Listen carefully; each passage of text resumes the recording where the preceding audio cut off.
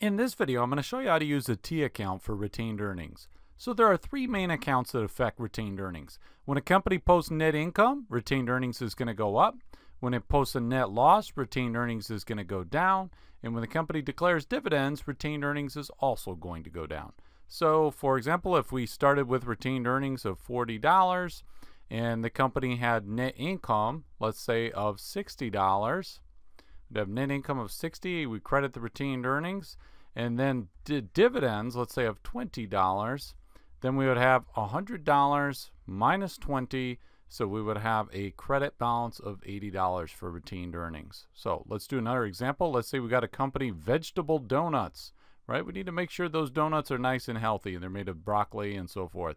So they posted net income of $50 during 2018 Retained earnings was $100 as of January 1st, 2018, and then 120 as of December 31st. So our beginning balance is 100. So let's set up this T account. So we've got $100, okay, and then we get to 120.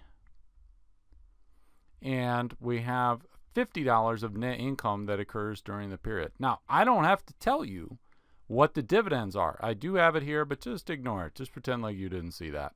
So we see 150 of credits, but we end up at 120 as our balance. So 150 minus 120 is 30. So there must be $30 of dividends here because we had 100 we started with, we credited for 50 for the net income, and then we debited it for 30. Now, to be fair, there are accounts other than net income slash net loss and, and, dividends that do affect the retained earnings account. For example, if there's a cumulative adjustment due to a new accounting rule and so forth.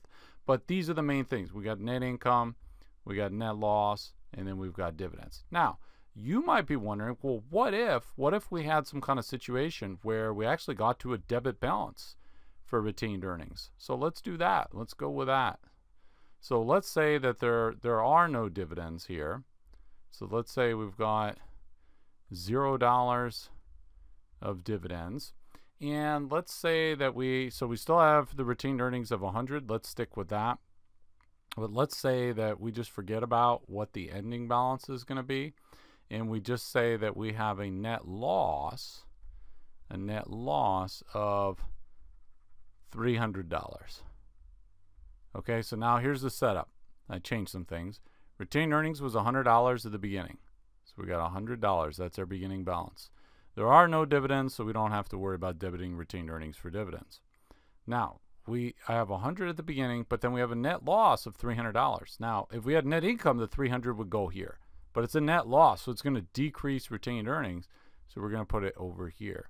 So now what we have is we have $100 in credits, $300 in debits. So we are going to have a debit balance for retained earnings. So we are going to have, so now what happens when you have a debit balance for retained earnings is you have accumulated more losses than profits throughout the company's history. Uh, so what we're going to do is we're going to change the name of this. It's still the same account, but we're going to change the name so that it makes more sense on the balance sheet. And we're going to call it accumulated deficit. Accumulated if you see that for a company, sometimes with like startups and stuff, you'll see accumulated deficit. What that means is the company has accumulated more losses than it has profits. And we see that that, that makes sense here. They posted a net loss and they had started with retained earnings of $100. So now at the beginning of next period, instead of saying, oh, we've got retained earnings of X, it'll say at the beginning, they have an accumulated deficit of $200. Now let's say next period, they have net income of $500 and no dividends. Dividends are zero. This is next period now. I hope I'm not confusing you. Okay, so this was the ending balance of uh, retained earnings, which is now accumulated deficit for this period. We ended with accumulated deficit of 200. But next period, we have net income of 500 and dividends of zero. So then we would have an ending balance at the end of that period of retained earnings of $300. And how did I get that? Well, the ending balance of this period is 200 accumulated deficit. So you think about that as negative $200 of retained earnings. But then at the next period, you have net income of 500. 500 minus that accumulated deficit of 200 gets you to a $300 retained earning balance at the end of next period.